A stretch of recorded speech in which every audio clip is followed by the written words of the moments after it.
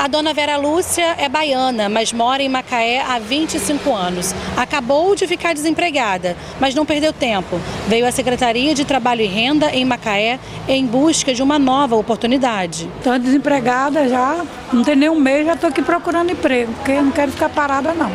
E qual vaga que você quer? Cozinheira ou salgadeira, porque eu sou. De acordo com a nova atualização do Cadastro Geral de Empregados e Desempregados do Ministério do Trabalho, o CAGED, Macaé acumula só em 2024 2.046 novos postos de trabalho. Em abril, a marca foi de 475. Macaé superou em abril deste ano a marca de 31.400 novos empregos gerados desde 2021. O município segue líder na região e é referência em empregos no estado.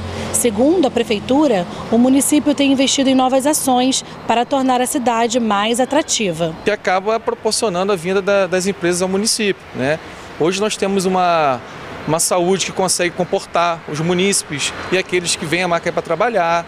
Nós temos a questão da passagem a um real, é, a Secretaria de Trabalho e Renda também se desempenhando para estar tá ajudando todo, todo empresário que chega no município, né? disponibilizando sala, o trabalhador que precisa tirar uma RG, a gente consegue também estar tá ajudando. Enfim, tudo isso é um conjunto de esforço do governo municipal que proporciona isso. Né? Também cabe ressaltar a, a toda a questão do gás, né? que Macaé está começando a se tornar uma capital nacional do gás, né? com essa Rota 5, a semana começa em Macaé com 181 vagas de emprego. Destaque para motorista carreteiro, instalador, mecânico automotivo e chefe de cozinha. A Central do Trabalhador fica na Avenida Nossa Senhora da Glória, número 1181, na Praia Campista.